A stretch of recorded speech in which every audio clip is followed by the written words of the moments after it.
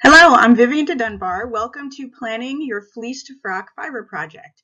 I started this uh, this class because I've tried to do a project where I started with a raw fleece and then tried to go all the way through everything to the finished project and it's a very overwhelming task. It's something that takes a long time and it's very helpful to break it up into smaller chunks and um, and I've I've done it the wrong way a lot of times, and so hopefully I can help you uh, do, do a good job of getting your project together. So let's just dive right in.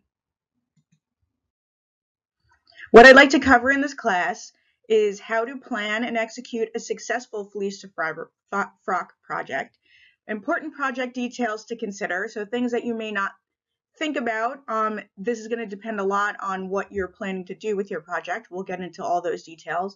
And I'd like for you to learn from my past mistakes. Uh, I like to do everything the hard way, and hopefully some of the things that I've done, you can learn from that and not have to go through uh, the same the same trouble. The first thing, the most important thing with any arts and science project that you're doing is to do your research upfront. Um, this will give you a better idea of how to proceed. It, if you research as you go, you may be going along and then find out that something you did is not compatible with a later step, or you were doing it completely wrong, or there was an easier way you could have done it. Um, you may find that there is a better or more period or easier way to perform a task. You may also, in doing your research, find someone else who's done a similar project, and then you can learn from what they've done and not have to start uh, you know, all over from the beginning. And when you're doing your research, keep a list of your sources and page numbers because um, as this is a big project, usually it takes, it's over a course of, of many years that I've do, done some of these projects and trying to remember what book something came from and what page number that I researched a year or more before is just uh, not possible. So you know, try and keep keep that all, however you keep it, keep a list of your pages and your sources. I have in the uh, section on handouts, I have a project checklist for you. So you can go ahead and take a look at that and you can change it to meet your needs. But the I always try and do a checklist before I start, um, before I even start the research for a project. The checklist will let you know what areas will require you to research. Um, it will give you a lit, you can, you'll make a list of materials that you'll need for the project.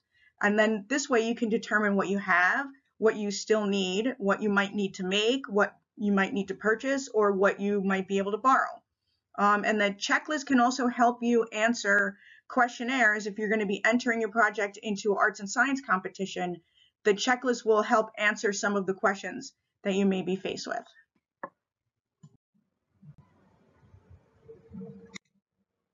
So now let's get into the actual planning of your project. The first thing you're going to want to do is choose your garment. Uh, are you going to be using a piece that you have an extant piece of clothing from, or are you going to use a picture that was painted or an illumination? What time period is it going to be from? Is what region of the world is it going to be from? What is the status of the person that's wearing it? And what will you be doing while wearing it? These are all decisions that you should think about, and it will really affect what your final garment will look like.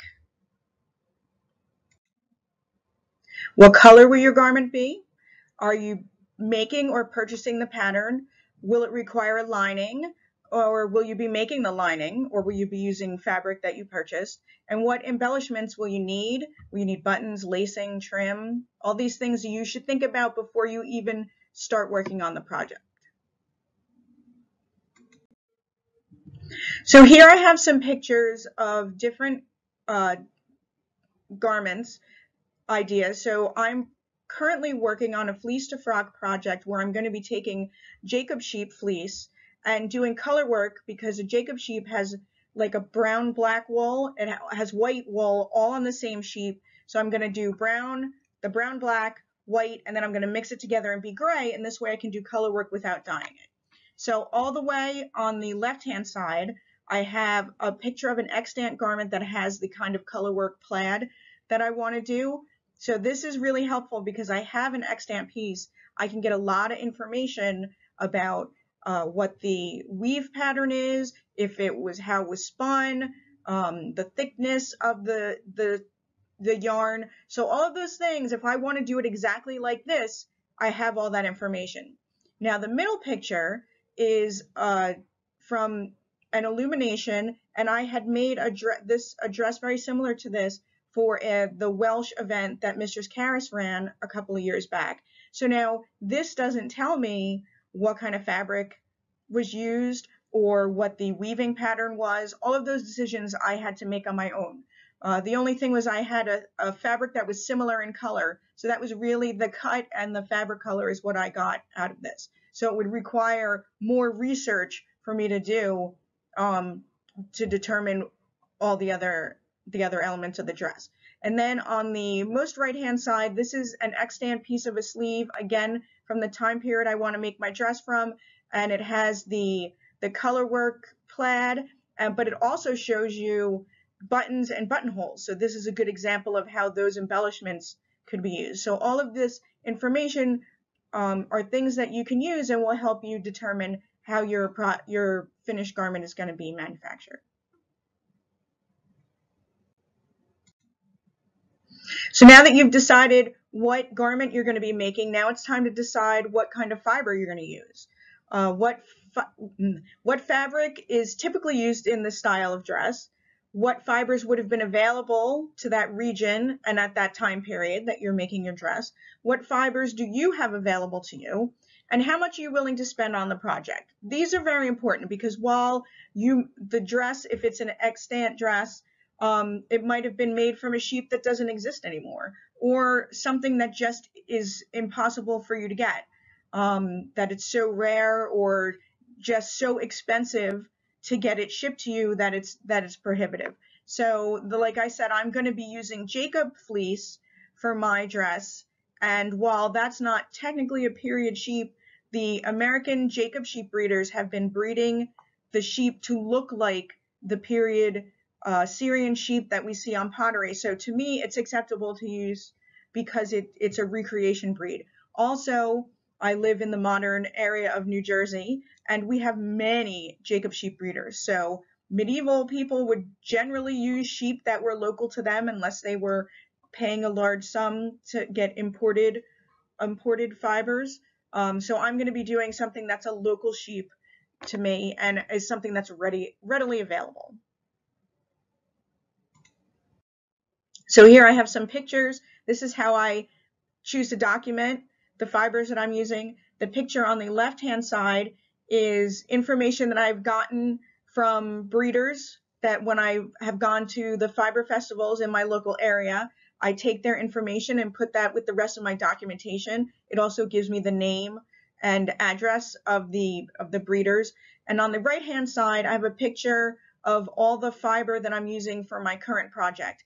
Now, the first time that I tried to do a fleece to frock, I decided I was going to use black Welsh mountain sheep, very period sheep. They have a beautiful black natural color, and it's just really, really beautiful. So I decided I was going to make a 14th century uh, cotehardie, and it was going to be something that went over a normal dress, so kind of like an outerwear, because black Welsh is a little bit of a rough, a little bit of a rough fiber. So I got a fleece, it's about a four pound fleece. And I was like, okay, I'm going to start. I'm going to jump in. I did not do research up front. I was a, I'd been spinning maybe four or five years. I started spinning and I wove it up. And then I realized that when I was done, I had four yards of 18 inch wide fabric and that was nowhere near enough to make a dress. So I bought another fleece from a different vendor and spun it up and the quality was just so different. It, it looked like two different types of fabric. So I couldn't use it. So instead, I, you know, chalked it up to what not to do and made a hood. It's a beautiful hood now. So when you're going to do a project and you have to use more than one fleece, you need to buy all the fleeces up front and then you need to mix them together before you comb them or card them or whatever you're going to do so that it, it's homogeneous before you start you can't do one fleece at a time. And even if you're going to get a fleece from the same sheep, like the next year, year to year, you can have a completely different quality fleece from the same sheep because of diet or sickness or weather. There's so many variables that affect a fleece and the chances of you getting a fleece from the exact same sheep is very low. So definitely, you know, get as much as you need up front and we'll talk about that later, how you can go about calculating how much you need. You're going to need to do sampling and uh, do a little bit of math and you can figure all that out. So I, this picture here is about probably six or seven fleeces that I've collected over time and then I felt I had enough and then I started going to the next step of processing. But uh, fiber choice is very important, and uh, you want to do research about what you're going to be able to get available to you uh, before you commit to a certain a certain type of fiber.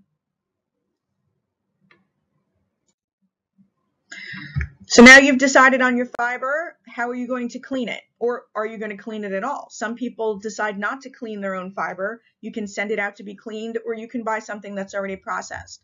Um, it's it's up to you how much you want to do. It's very hard if you have uh, if you live in an apartment or you have a very small area to work in to clean your own your own fiber. I don't do it the period way. I clean my fiber with modern methods. I don't have the space to clean with urine um, or have big you know boiling pots. So I do it I do it in my bathtub with modern detergent. Um, so you have to determine how you're going to clean it, what materials you will need, what equipment you'll need, and what space you're going to have available to do the cleaning. Here are some examples of my method for washing. So this is what I would put in my documentation. On the left-hand side, I have my raw fleece in laundry bags. This is so the the wool doesn't move around so much, so it doesn't really felt when I'm, or hopefully doesn't felt while I'm washing it. I soak it in buckets with really hot water, and uh, I use unicorn scour. I've also used Dawn, the blue uh, Dawn dish liquid, and I soak it until I get most of the dirt and grease out of it, and then I do it with clear water, and then I dry it downstairs in my basement on drying racks. I have a dehumidifier downstairs this also in the basement keeps my cats out of it and it's it's clean and it's it's dry downstairs. If I was to do it outside, I would have to secure it so that the squirrels and the birds didn't take it for nests. So again, you know, you decide what works best for you. You can uh, do it. Some people do it in a washing machine, um, and then you know that's another another option. You just have to determine how you're going to do it and document how it's different from the way it medievally would be done.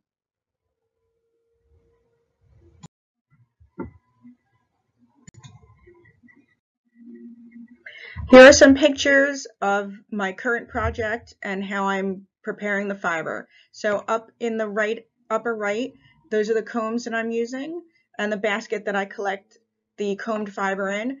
I've done some research and um, some of the some of the prep was done by greasing up the combs. They would dunk their combs in like oil or fat um, and warm it up. So I read a, a modern article from the Spin-Off magazine where the uh, fiber artist talked about spraying her fleece with a mixture of water and olive oil.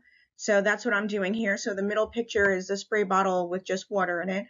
And then on the upper left is a spray bottle with olive oil in it.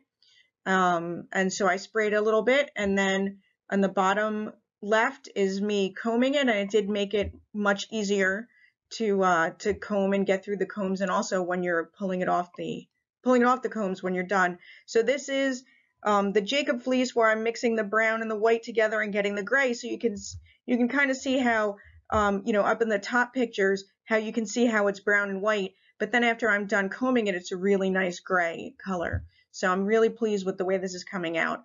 In the bottom right hand corner, that's the finished the finished wool after it's been taken off the combs.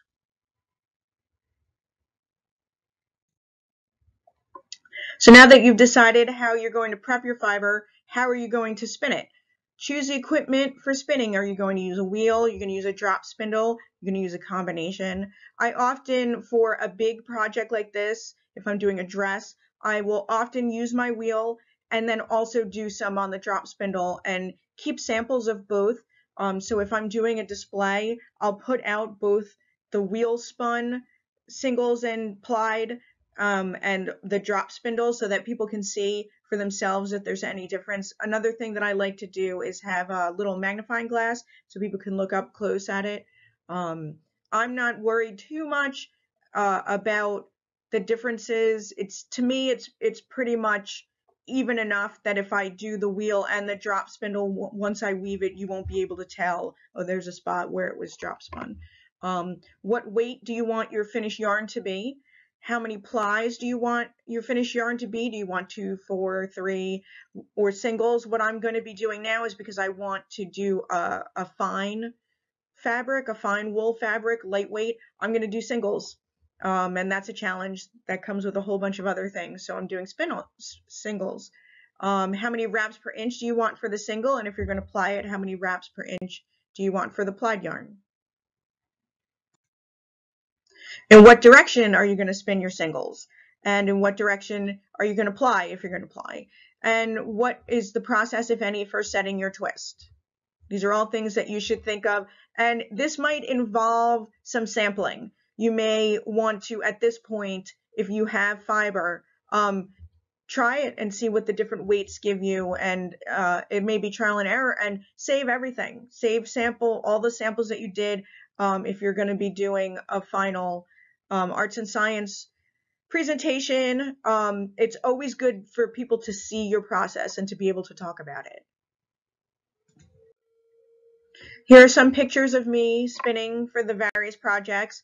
On the left-hand side, um, if you look at the on the lower corner, you can see the bobbins. I'm plying Black Welsh Mountain Sheep. So this was that project, and I'm using my Ladybug wheel. Um, so it was it was pretty. It was as fine as I could get it, but not as fine as I would have liked it to be. Um, and so that was that. In the center, this is the gray fiber that I that you saw earlier that I combed for my current project and this is just going to be a single so there's no plying.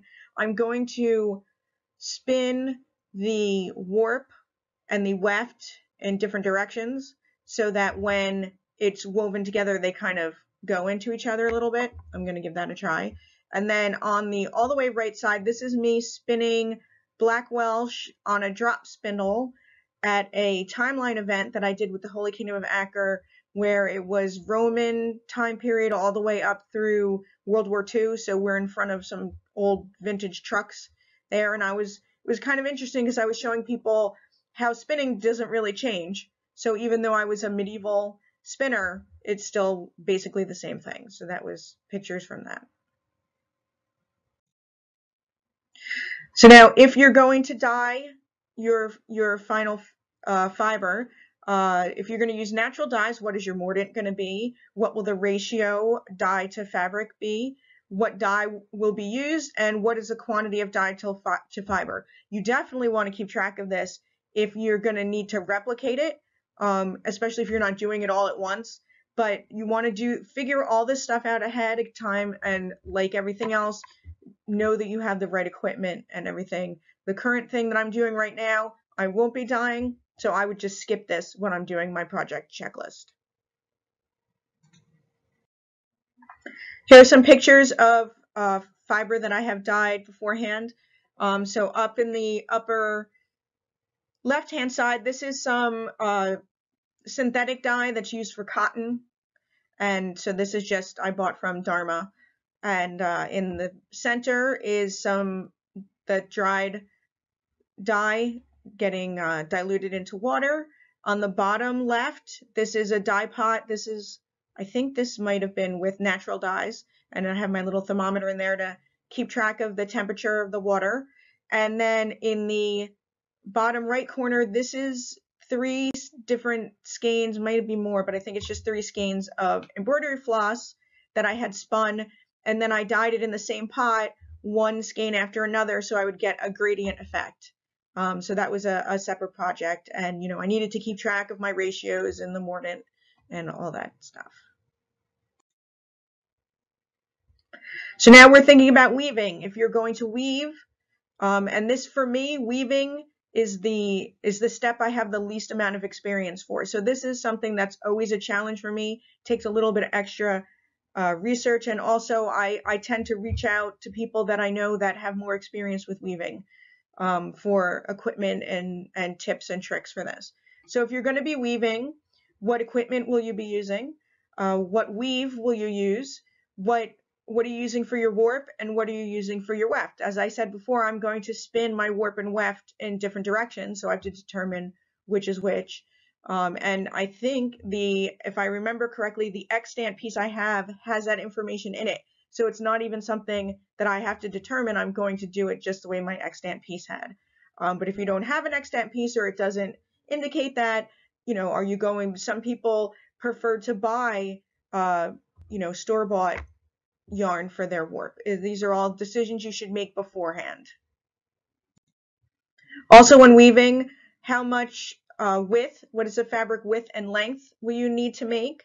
And how much yardage will you need of overall fabric? And then will you be using sizing on your warp thread? An important thing, something I'm struggling with now. I'm having a hard time finding documentation of warp sizing that was used. I have some anecdotal evidence and um, you know, just people saying, oh, they use this, they use that, but I have not been able to find the documentation. So that's something that I'm still still researching, but I haven't gotten there in my pro process yet. So that's good.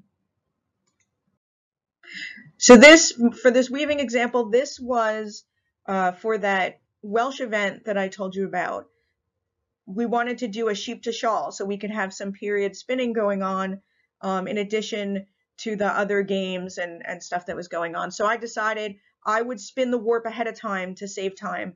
And at the event, we would have the fiber and everybody would just spin the weft. And then it wouldn't matter so much how thick it was. Um, I found a really great Welsh mountain sheep. It was a badger face Welsh mountain sheep. And I spun up my my warp threads um, just however you know, the thickness that I, I thought it would be. And again, remember, I don't have a lot of weaving experience. And I wanted it to be a single because I knew my next project I would be using singles for the for the warp. So I wanted to give that a try. Did not put sizing on the warp. Got to the event, decided I would warp it so that everybody could see how I would do it, and it was impossible to warp to warp the the loom because because there was no sizing in it and this is a kind of a bouncy yarn, every time I would pull it through a slot or a loop, it would just bing, spring back up and it would just knot up with everything else. And I would get something straightened out and then the next one and it was, it just didn't happen. So we just finished, we just spun, we combed and spun and hung out.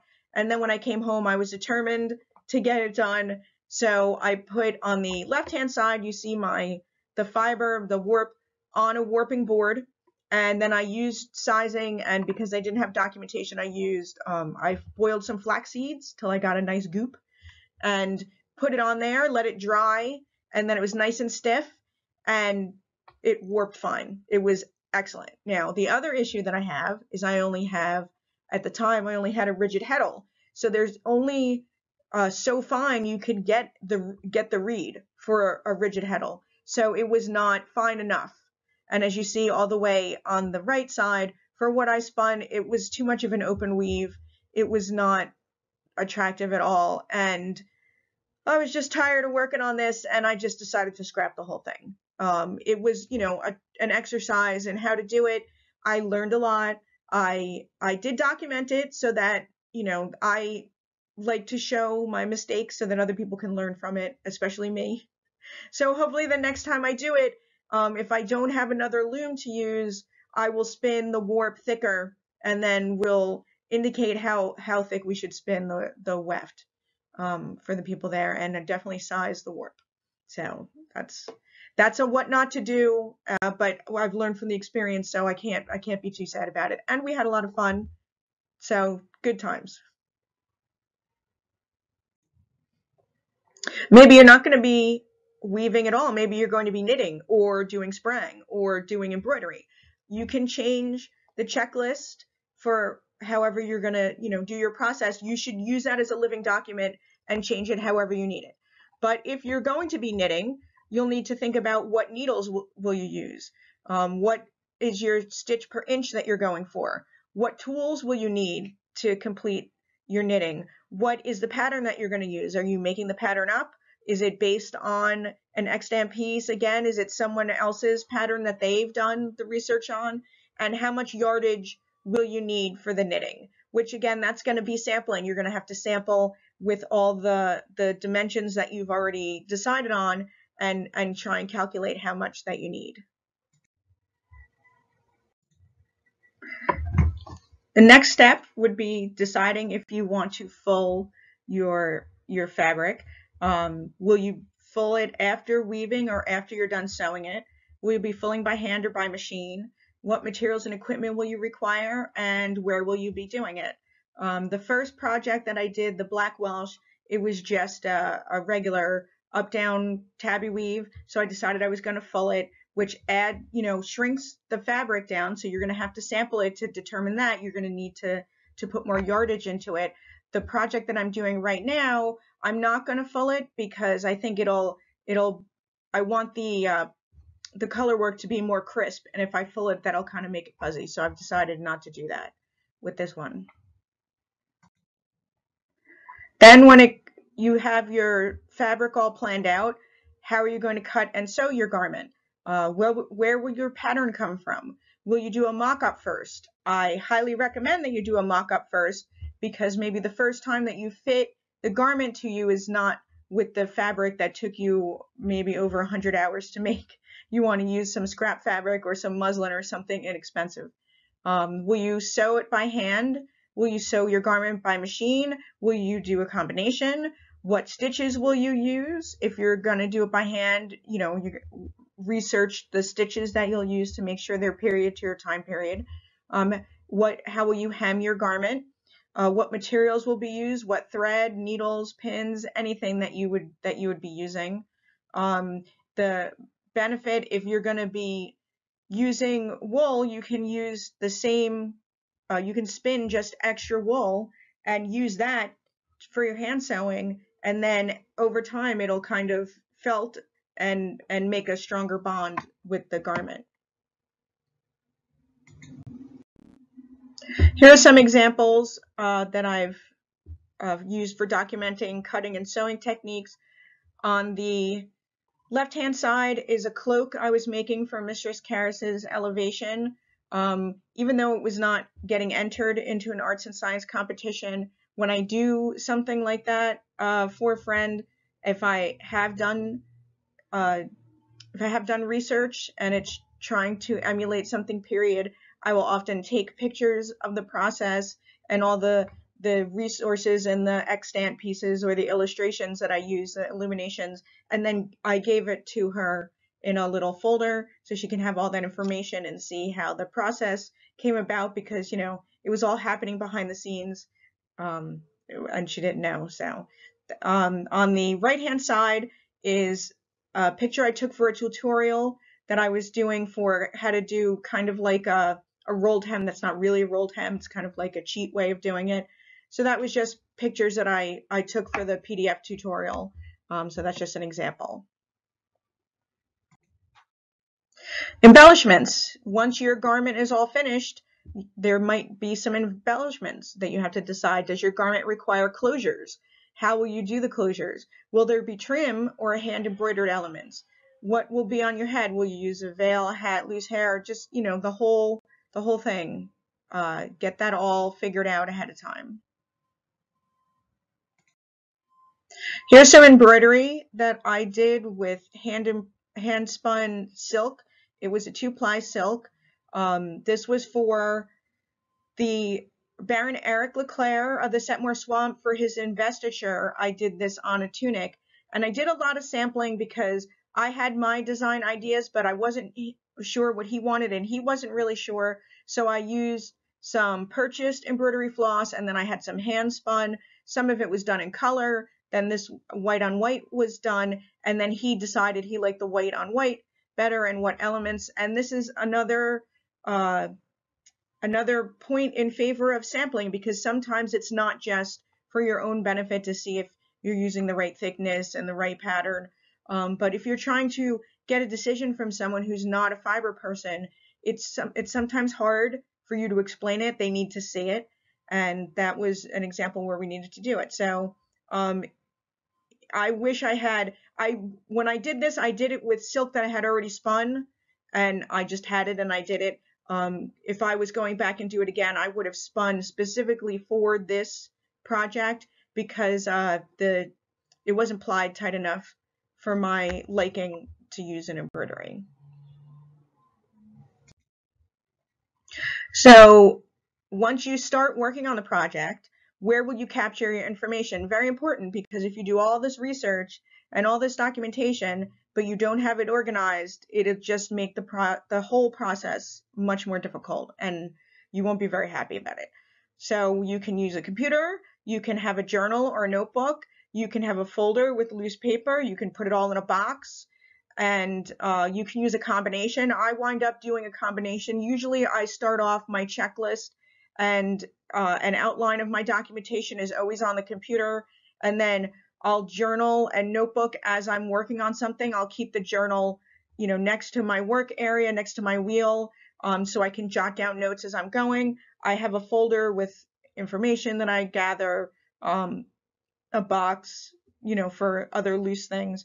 And don't forget to keep a list of your sources. That is the most important thing because if you're using a book from the library or you borrowed a book or even if it's taking it off your shelf, then it goes back on the shelf a year or two later, you're not going to remember what your source was and what it all kind of blends together.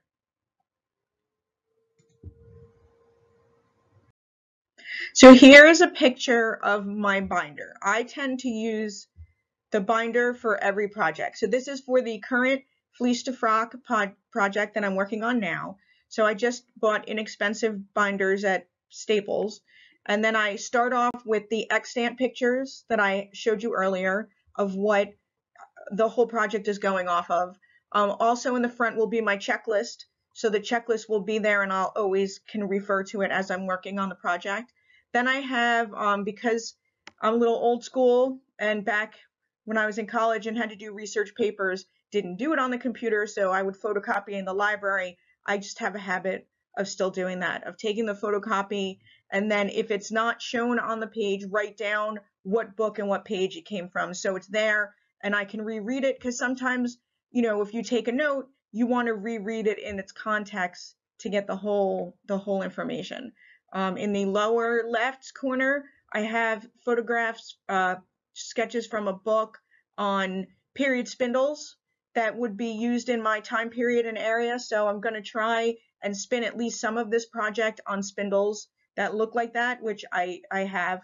Um, and then the next uh, picture is I like to handwrite notes when I'm reading. I just take notes, another, you know, just old school way of how I'm used to doing research. Then this next picture is I put into some plastic sheets the documentation that I picked up from the different breeders as I was getting Jacob. And then, you know, of course, I check this because sometimes the breeders all get it from the same information or they're giving anecdotal stuff. So it's just a jumping off point uh, to look up more information. And then all the way on the right, this is just some miscellaneous pictures. The thing in the back, I think, is when I was doing an arts and science competition. It's like a tent uh, display with my name on it and my kingdom. That can come in useful for more displays. I have a postcard that has a picture of an illumination on it that has pictures of a loom and spinning and I think card carding. So, you know, it gives some some pictures of that. So I keep all this and then when the project's over, if I do documentation write up, that goes in there too. And then I keep the binder. And so then when I before I did the fleece to fiber 2 fabric 2 one, um, I went back and looked at the first one, all my documentation to look at what went wrong, what worked well, um, the information I had gathered from that. A lot of times, one project is a jumping off point for another project, so it's always helpful to have that. I mean, in doing this project, I've thought of at least two or three other projects that I want to do based on what I learned from this one. So it'll be good to have that original information that I kept for this always on hand.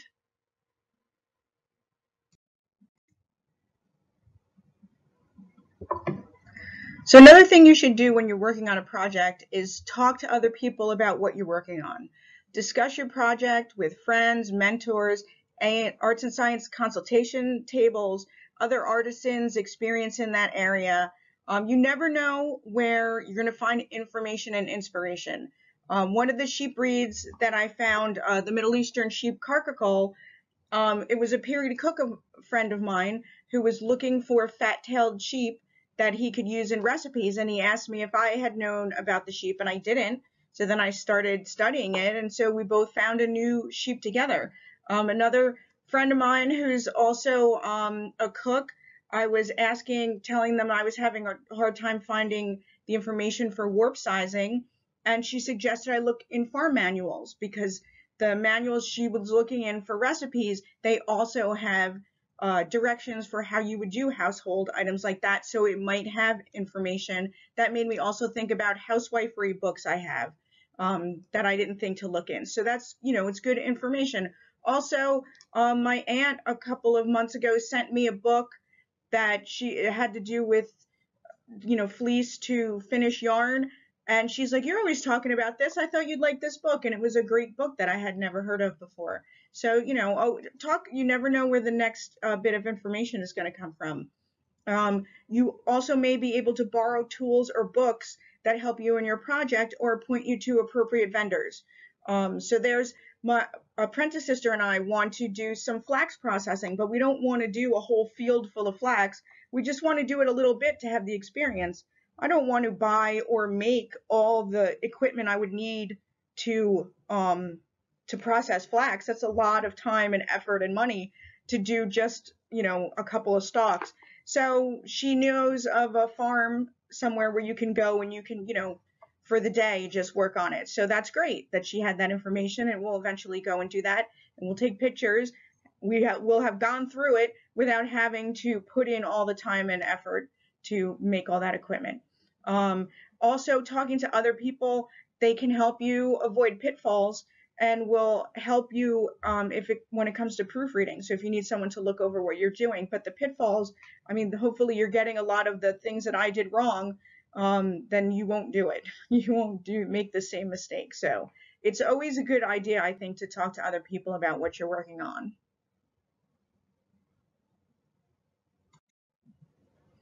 And then once you have your project all done, you have your final, you know, your final fabric, um, you know, garment, share it with everybody. That's kind of what the SCA is all about, is all of us doing this research. It's, it's for our own knowledge, but then to share it with other people.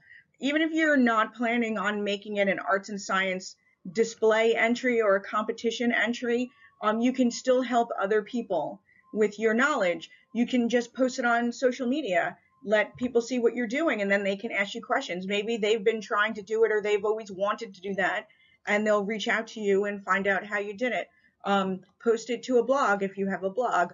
Um, make a tutorial PDF. Now, on Facebook, I belong to the Settmour Swamp Facebook group, and I'm in the Kingdom of Acker, and our Facebook group, they have a section where you can put PDFs on there in the files so people put up their tutorials for having to do something, and that's a great resource. When a new person joins up, we point them over there so they can see how to make a whole bunch of different stuff.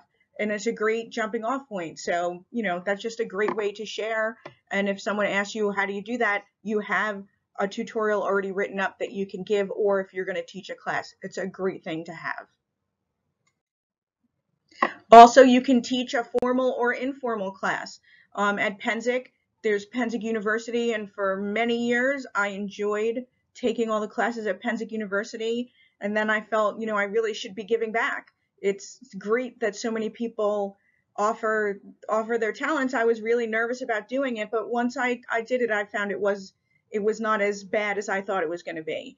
Um, and your information really is useful to somebody else. No matter what it is that you do, there's always a unique take that you have, and it will really help educate someone else. So I encourage you to take that leap and and teach. And if not at Pennsic at an event, um, at a shire or barony meeting or gathering, sometimes in the Settmour Swamp, we do small group uh, gatherings. We call it a swamp stomp, and it's like garb optional, and we just hang out and potluck and and you know I've taught classes there and just informally or at an artisans row. That's another great thing that we've been doing lately at Mudthaw and different events where we just have people just working on their craft and doing whatever they do, and people can come and ask them questions. It's a fantastic informal way for people to discuss and um, or now we have we have zooms and even even though you know we're starting to do in person i think the zooms are going to stick a, around a while because i've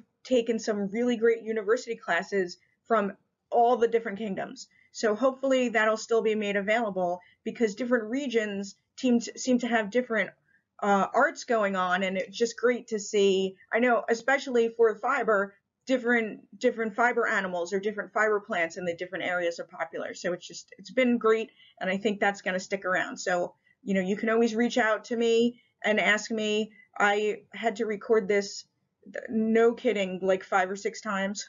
Hopefully this is the last time. So I've made a lot of mistakes here too. I'm happy to share with you.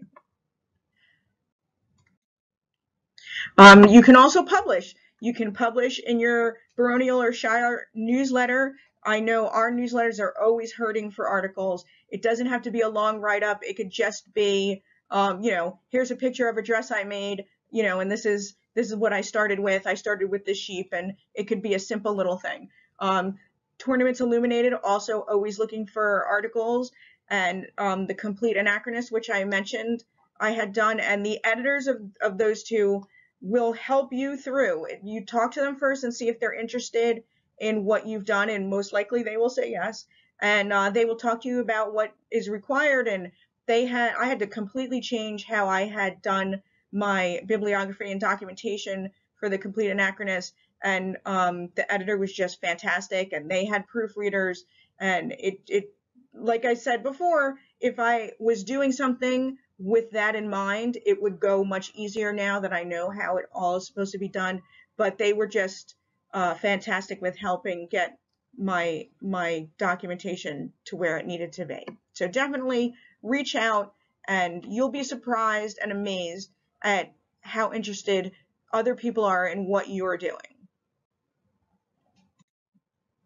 Here are some resources um, that hopefully you can, you know, you might find useful. The first is the Fleece and Fiber Source Book by Deb, Deborah Robson and Carol Ekarius. Um, so this book is is fantastic. I mean, modern spinners use it in medieval spinners. It's got tons, over 200 different uh, animal breeds, mostly sheep, where they come from, what their fiber looks like, just all this great information. It's a fantastic jumping off point if you're doing your own research um, and it, it helps the you know they say where they got their information from so it's a really great resource and then um, there's the Compleat Anachronist that I that you know I've discussed that I did um, and you can get that on the SCA website and it has the more period breeds that I've done and the hemp and linen and flax and I've it's geared more towards beginners that was another thing that we changed with when it became a Compleat Anachronist.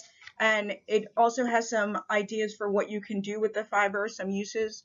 Um, so again, use it as a jumping off point to do your own research, but it's, it's just a starting thing so you're not starting from square one.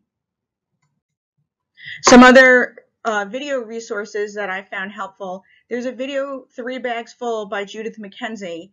Um, and this video is, is about how to purchase, separate, store, clean, and spin a raw fleece. I wish I had seen this before I started buying fleeces on my own because I really didn't know what I was looking for with a good fleece. Um, especially if you're buying a dirty fleece, it looks dirty when you start, but there are things you can do to check to make sure you're getting a good quality.